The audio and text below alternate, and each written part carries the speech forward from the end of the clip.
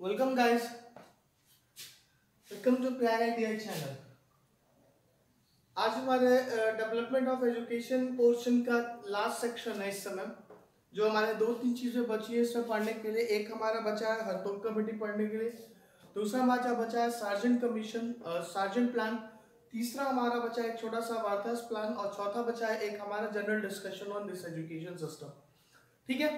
तो कहने का मतलब है कि अब हम लास्ट पोर्शन पे आ जाए। आज हम स्टार्ट करते हैं सबसे पहले हरतोक कमेटी ठीक है? हरतोक कमेटी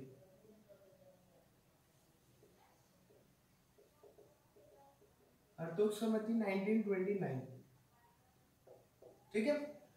इसमें तीन रिकमेंडेशंस इंपॉर्टेंट आई थी। रिकमेंडेशंस तो बहुत सारी आई थी, लेकिन जो तीन इंपॉर्टेंट रिकमेंडेशंस है हर तो कमेटी के हम यहाँ पर इस पर लिखेंगे और इस कमेटी का रिकमेंडेशंस मैंने बताया कि इस समय का जो सेक्शन था वो राइज ऑफ़ नेशनलिज्म का समय था।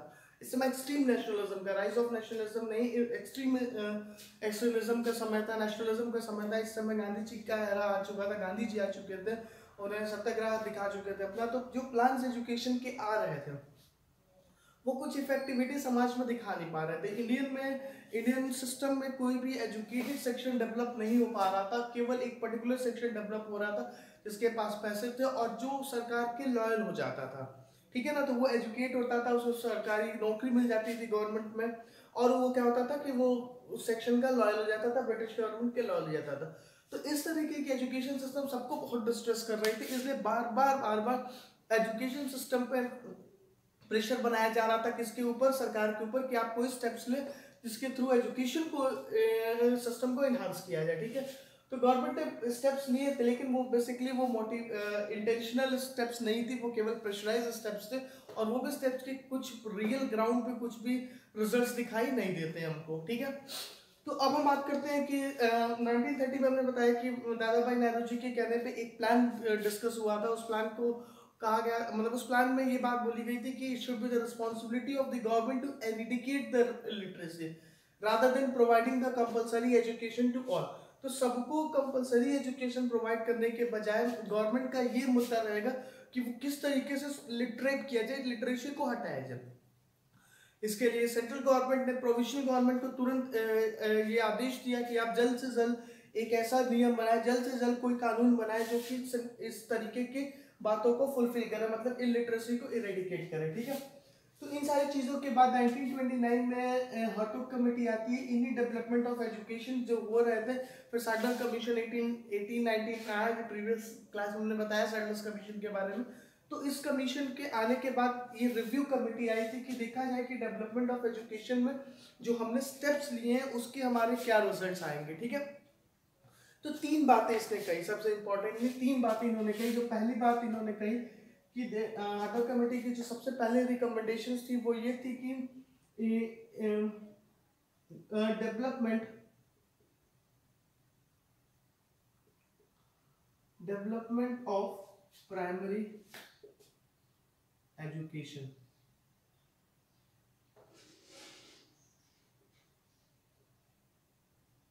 should be enhanced. Should be enhanced. और दूसरी बात ये कहेगी कि no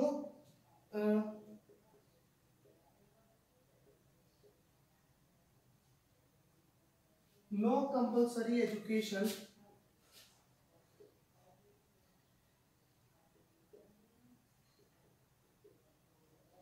is required ठीक है? तो ये बार बार मुद्दा चल रहा था कंपलसरी एजुकेशन का कि प्राइमरी स्टेज पे कंपलसरी एजुकेशन प्रोवाइड किया जाए। बार बार इस पर मुद्दा चल रहा था। तो इस पर क्लियरली अर्थ कमेटी ने कहा कि कंपलसरी एजुकेशन प्रोवाइड करने की कोई ज़रूरत नहीं है। हाँ थोड़ा सा प्राइमरी एजुकेशन पे आप ध्यान दीजिए। प्राइमरी एजुकेशन की एजुकेशन सिस्टम अच्छी नहीं है। पहली बात तो उसने कही। दूसरी बात इसने क्या कही? दूसरी बात हम बताएँ कि यूनिवर्सिटीज लेवल की बार बार जो भी एजुकेशन सिस्टम आती थी वो यूनिवर्सिटीज एजुकेशन को इन्हेंस करने के लिए आती थी। क्योंकि उनको प्राइमरी एजुकेशन से मतलब नहीं था। अब होता क्या था कि जब प्राइमरी एजुकेशन पे चिल्ड्रंस अच्छे नहीं होते थे बच्चे अच्छे नहीं होते तो यूनिवर्सिटी लेवल पे जाते जाते वो उतने एफिशिएंट नहीं हो पाते थे। उतने यूनिवर्सिटी लेवल के एजुकेशन सिस्टम को आ, आ, मतलब एजुकेशन सिस्टम में घुल मिल नहीं पाते थे। और उस समय की जो वेस्टर्न एजुकेशन सिस्टम थी, बहुत स्ट्रांग थी, और आज भी वेस्टर्न एजुकेशन सिस्टम किसी भी तरीके से एक बहुत अच्छे पोजीशन में ठीक है? अभी क्यू क्यू क्यू इंडेक्स आया इसका। क्यू इंडेक्स आया है आपका, जो यूनिवर्सिटीज की रैंकिंग डिसाइड करता है ऑल ओवर द वर्ल्ड ठीक है? तो इस यूनिवर्सिटीज रैंक में मैं आपको बताऊँ कि ऑलमोस्ट टॉप 200 में। टॉप 200 में ऑलमोस्ट 40 टू 60 50 परसेंट जो 60 परसेंट जो यूनिवर्सिटीज है, वो वेस्टर्न यूनिवर्सिटीज है. 60 परसेंट वेस्टर्न यूनिवर्सिटीज है. इधर यूरोप की यूनिवर्सिटीज भी नहीं ज़्यादा उसमें आती हैं. जापान चाइना नहीं इंडिया की यूनिवर्सिटीज भी केवल तीन यूनिवर्सिटीज इसमें आई हैं. दो आई और एक आई बेंगलुरु ठीक है? फ़िलहाल हमारा वो मुद्दा नहीं है. कहने का मेरा मुद्दा है कि वेस्टर्न एजुकेशन सिस्टम और वेस्टर्न यूनिवर्सिटीज जो थी, वो बहुत ही एडवांस थी. अब इंडिया में उन्होंने यूनिवर्सिटीज खोले, खर्च किए। अब उस खर्च का उनको आउटपुट नहीं मिल रहा था क्योंकि यूनिवर्सिटीज में जो बच्चे जाते थे, वो कैपेबल नहीं होते थे। और जो प्राइवेट यूनिवर्सिटीज खुली थी, वो फैक्ट्री फॉर रेवोल्यूशनरीज बन चुकी थी। केवल पॉलिटिकल रिवोल्यूशन होता था, वहाँ पे पॉलिटिकल रिवोल्यूशनरीज हो रहे थे, जो कि सरकार के खिलाफ हो रही थी। सरकार ये कह रही थी कि हम खर्चा भी एजुकेशन पे कर रहे हैं और मेरे ही खिलाफ आवाज़ उठाने वाले लोग भी। जबकि उनका इंटेंशन जो कुछ उल्टा था, वो उस क्लास को डेवलप करना चाहते थे, जो उनके साथ लॉयल रहे, ठीक है? तो फिर जो भी रिकमेंडेशन आती थी, इसीलिए प्राइमरी एजुकेशन को कह रहे थे। तो इसने क्या किया तो कमेटी ने क्या किया? किसने कहा कि अब जो बाइफर्केशन स्टडीज़ का हो रहा था, कि अभी तक जो कमिटीज के रिकमेंडेशन थे, उसमें जो बाइफर्केशन किए जा रहे थे, वो हाई स्कूल पे किए जा रहे थे। मतलब जो वोकेशनल ट्रेनिंग और हाई स्कूल के जो डिविजन था वो, जैसे आज इंटरमीडिएट पे किया जाता है। इंटरमीडिएट से डिसाइड किया जाता है कि कौन क्या करेगा, कौन यूनिवर्सिटी लेवल पे क्या स्टडीज़ करेगा हायर स्टडीज़ करेगा। तो वो अभी तक हाई स्कूल पे किया जा रहा था तो हरतो कमेटी ने कहा कि इसको हाई स्कूल पे ना करके इसको एट्थ पे ही कर दिया जाता है, ठीक है? तो इसने लिखा कि bifurcation bifurcation of streams streams should be made at eighth standard.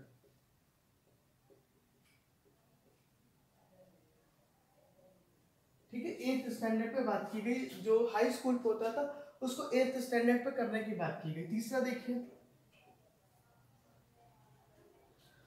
Primary education ये हो गया। और तीसरी की बात वही जो सब में हो रही थी कि यूनिवर्सिटीज एजुकेशन को अगर to enhance to enhance quality of universities education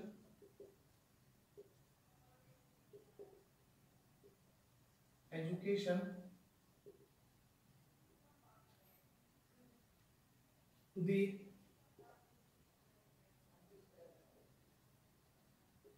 admission should be restricted.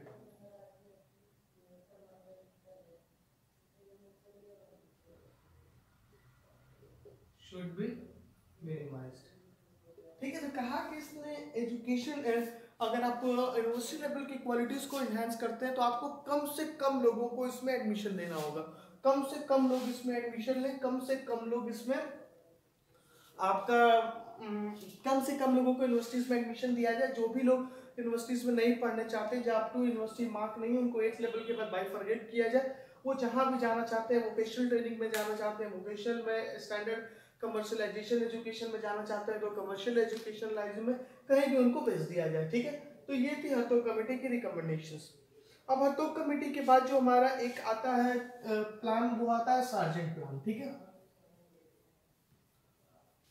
हमारा जो प्लान आता है वो सार्जेंट प्लान आता है सार्जेंट प्लान उसके बाद सार्जेंट जो थे वो ब्रिटिश गवर्नमेंट के एजुकेशनल एडवाइजर थे, ठीक है? तो उन्होंने एक प्लान बनाया एजुकेशन का, उसको कहते हैं सार्जेंट प्लान सार्जेंट्स प्लान कब आता है? तो 1944-45 में। ठीक है? क्या था सार्जेंट्स प्लान सार्जेंट जो थे, एक एजुकेशनल एडवाइजर थे किसके? ब्रिटिश ईस्ट इंडिया कंपनी के ब्रिटिश गवर्नमेंट के एजुकेशनल एडवाइजर थे तो उन्होंने ये प्लान बनाया था, जिसको कहा गया सार्जेंट प्लान सार्जेंट प्लान के रिकमेंडेशन देखिएगा।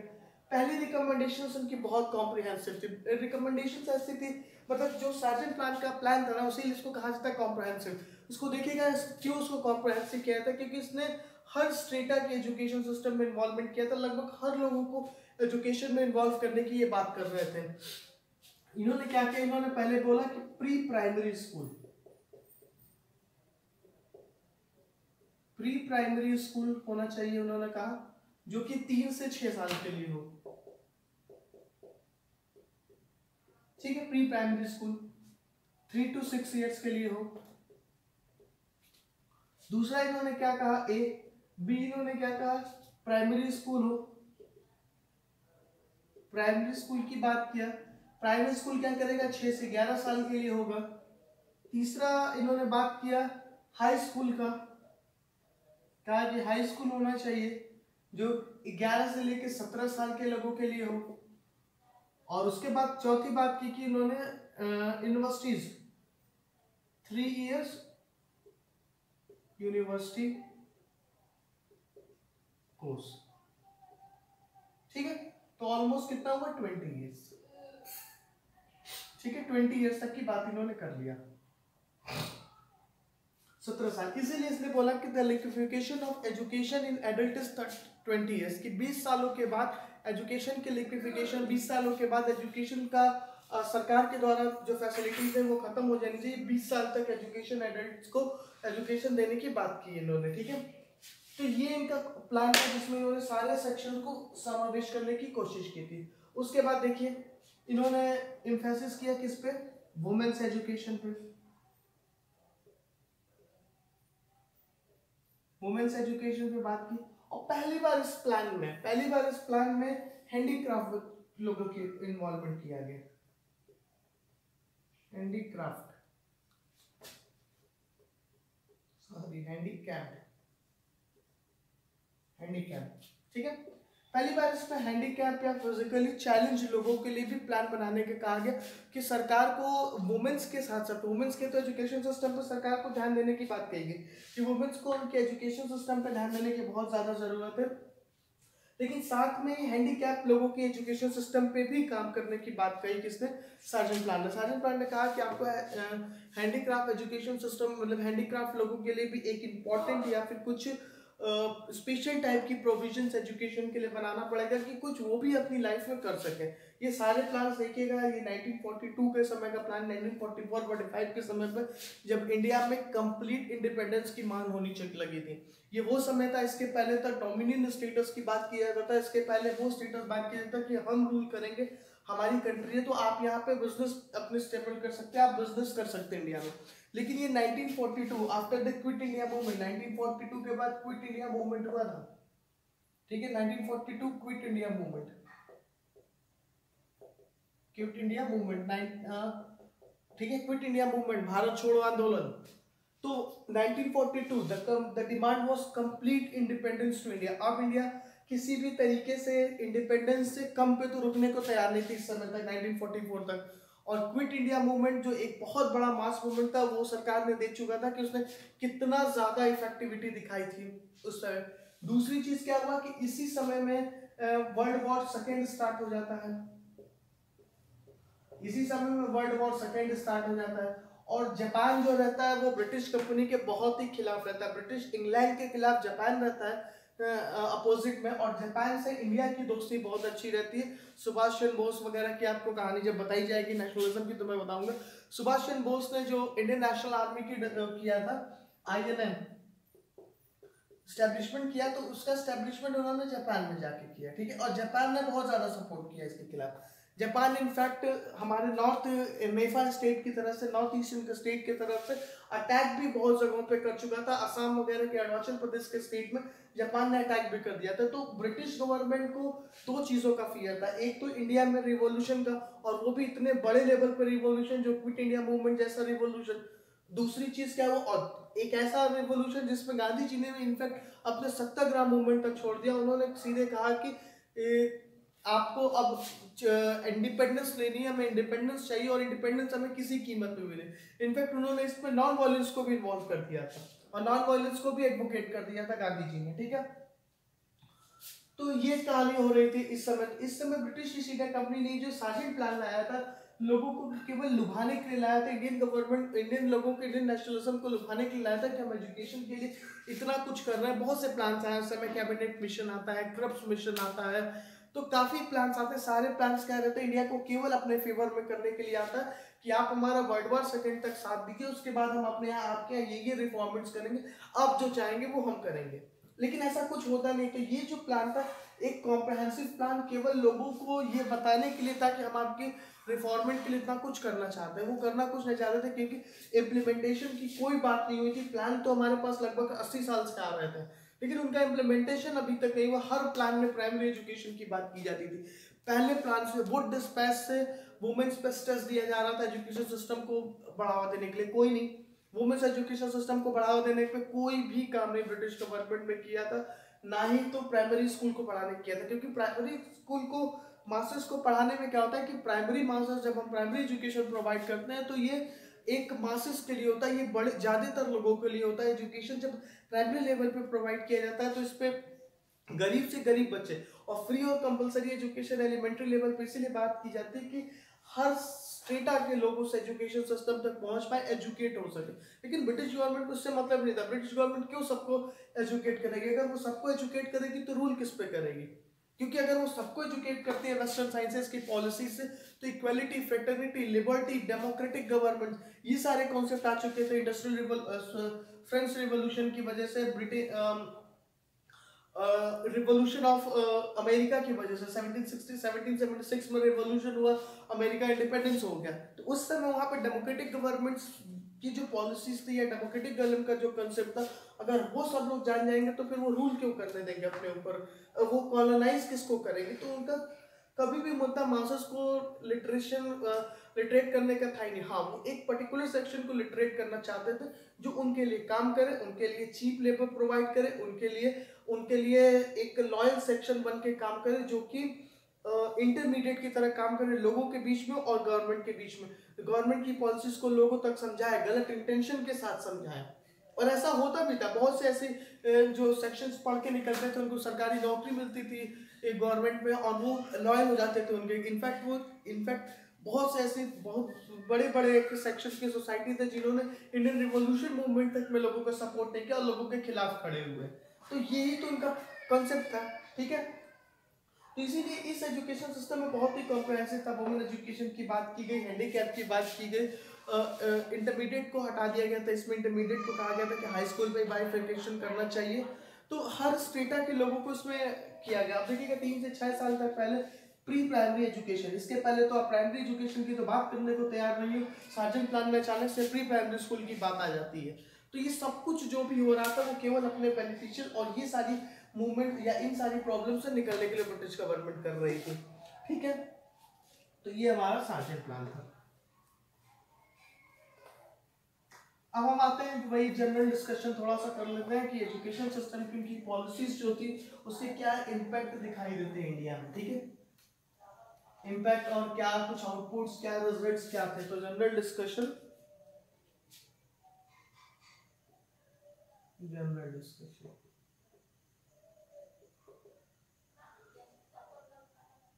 देखिए जनरल डिस्कशन का मतलब है कि एजुकेशन सिस्टम की क्या कहानी थी? कहने का मतलब है मेरे कि इंडिया में जो एजुकेशन सिस्टम की डेवलपमेंट ब्रिटिश गवर्नमेंट करती है, मैं पहले दिन से बताते आ रहा हूँ कि उनका इंटेंशन केवल एक स्पेशल क्लास और एलाइड क्लास को एजुकेट करना था, ठीक है? ये जो भी एजुकेशन सिस्टम की डेवलपमेंट्स होती है, वो इंटेंशन कई रहते हैं मतलब कई कारण थे डेवलपमेंट के। हमने पहले भी बताया था कि जो रीजन थे इनके डेवलपमेंट के, क्या कहते हैं? पहला pressure from Christian missionaries pressure of पहला क्रिश्चियन माइजोनरीज क्रिश्चियन माइजोनरीज ठीक है? दूसरा इंडियन रिफॉर्मर्स इंडियन रिफॉर्मर्स ठीक है? तीसरा need of working class interpreters interpreters and chief officials. Chief officials ठीक है? ये तीन कारण थे इसमें रीजन डेवलपमेंट के। रीजन फॉर प्रेशर ये प्रेशर के कारण इन्होंने क्या किया? एजुकेशन सिस्टम का डेवलपमेंट किया। वुमेन्स एजुकेशन पे एम्फेसाइजेशन कभी नहीं हुआ। क्यों? क्योंकि वुमेन्स को उनको ज़रूरत नहीं थी। और वुमेन्स एम्फेसाइजेशन पे एक दो कारण से न करने की, एक तो वुमेन्स की ज़रूरत नहीं थी कॉलोनियल रूल को एक्सपेंड करने के लिए या किसी भी तरीके से वुमेन्स का रोल नल एंड वॉइड था इसमें। और दूसरी चीज़ ये थी कि वुमेन्स के एजुकेशन के खिलाफ समाज में अभी भी कुछ ऑर्थोडॉक्सियन थिंकिंग ऑर्थोडॉक्सियन बिलीफ जो थी वो इंडिया में एग्जिस्ट कर रही थी। ऑर्थोडॉक्सियन बिलीफ्स के को भी वो राइज अप नहीं करना चाहते थे अपने खिलाफ। कि अपने रूलिंग में उनको कोई प्रॉब्लम हो। तो ये दो कारण थे। एक ऑर्थोडॉक्सियन थॉट्स हो गया। ऑर्थोडॉक्सियन एग्जिस्टेंस ऑफ़ इंडिया अब इंडिया में भी अभी मैं सोशल रिफॉर्म्स पढ़ूँगा तो मैं बताऊँगा कि सती प्रथा एवोल्यूशन ऑफ़ सती प्रथा इतना बड़ा कर्स इस सोसाइटी का, इतना ही कर्सिव मतलब सोशल एविल उसके इरेडिकेशन में इनफैक्ट बहुत से ऐसे लोग थे जो कि मुझे देखिए याद नहीं आ रहा है। जतननाथ देव या कोई थे जिन्होंने धर्म धर्म सभा की इस्टेब्लिशमेंट किया था, वो ब्रह्म समाज के खिलाफ आई थी मतलब ब्रह्म समाज के रिटेलिएशन में धर्म सभा का हुआ। कोई भी इंडिया की प्योरिफिकेशन नहीं चाहता था। कोई भी इंडिया के रिलीजन को मतलब ये ऐसे ऑर्थोडॉक्सियन लोग थे जो कि कभी इंडिया के रिफॉर्ममेंट नहीं चाहते थे। वो बार बार हिंदुइज्म के स्पिरिचुअलिज्म के कॉन्सेप्ट को पढ़ाना चाहते थे, जिससे लोगों के मन में डर पैदा कर सके। तो कुछ लोग ऐसे थे तो वो उनको भी नहीं छेड़ना चाहते थे। एक तो वो दूसरा उनको वुमेन्स को ज़रूरत नहीं थी।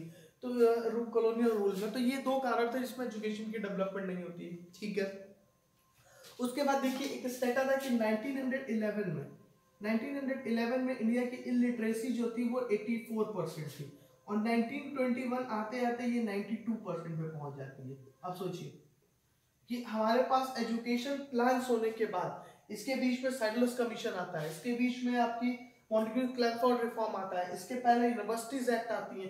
इतने के बावजूद इसके पहले हंडर कमीशन आया रहता है। इसके पहले वोट डिस्पैच आया रहता है। इन सारे एफर्ट्स के बावजूद भी इलिटरेसी जो थी वो बढ़ रही थी। 84 टू 92 परसेंट तो फिर कम कहाँ हुआ? काम हाँ वही हुआ कि पर्टिकुलर सेक्शन की सोसाइटी को पढ़ा दिया गया, जो अपने लिए मददगार हो। मार्क्सिस पे तो कभी काम ही नहीं था। आपको याद होगा लॉर्ड मकालेस ने क्या कहा था? डाउन डाउनवर्ड फिल्ट्रेशन की बात की थी। डाउनवर्ड फिल्ट्रेशन की हम अपर क्लास को पढ़ाएँगे। अपर क्लास एक तो हमारे लिए इंटरप्रेटर का काम करेगा और इंटरप्रेटर के थ्रू इंटरप्रिटेशन के थ्रू वो इंडियन वर्नाकुलर्स को वेस्टर्न साइंसेस के नॉलेज से भरेगा और तब वो वेस्टर्न साइंसेस का जो नॉलेज होगा वो मास्टर्स तक पहुंचेगा। ये लॉर्ड मकालेस का कहना था 1935 में। ठीक है? तो जिसको डाउनवर्ड फिल्ट्रेशन का कंसेप्ट और इंडियन नेशनलिस्ट के रिटेलिएशन में ये कहा कि जब तक मास्टर्स इंडिया के पढ़ाई मतलब जब तक इंडिया के मास्टर्स एजुकेट नहीं होंगे, तब तक उनको वो पॉलिसीज़ पॉलिटिशियन से और गवर्नमेंट के थ्रू पता चलेगी।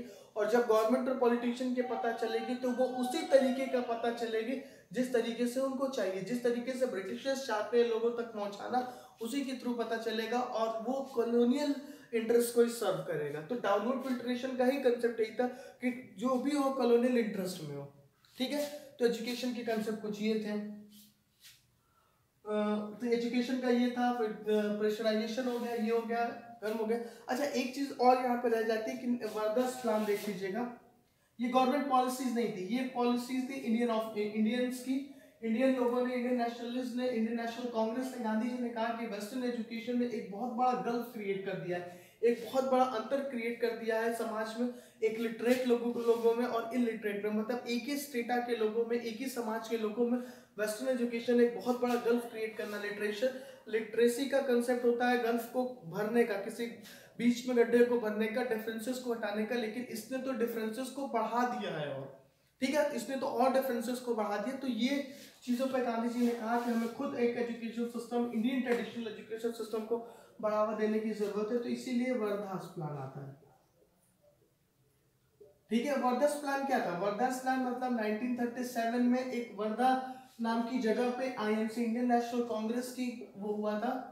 इंडियन नेशनल कांग्रेस का सेशन हुआ था, उसमें ये प्लान डिसाइड किया गया था। उसमें जाकिर हुसैन जाकिर हुसैन को जाकिर हुसैन कमेटी बनती है, जिसमें जाकिर हुसैन हेड करते हैं। ये कमेटी बनाई जाती है कि ट्रेडिशनल एजुकेशन पर एम्फेसाइजेशन किया जाए, क्योंकि वेस्टर्न एजुकेशन है तो बहुत ज़्यादा गल्फ क्रिएट कर दिया है इंडिया की मतलब बहुत ज़्यादा इंडियन लोगों में बहुत बड़ा गल्फ क्रिएट तो उस चीज़ को भरने के लिए क्या हुआ? तो इस जाकिर हुसैन कमेटी में एजुकेशन की जो बात की गई, वो पहली बात बोला गया कि free and compulsory education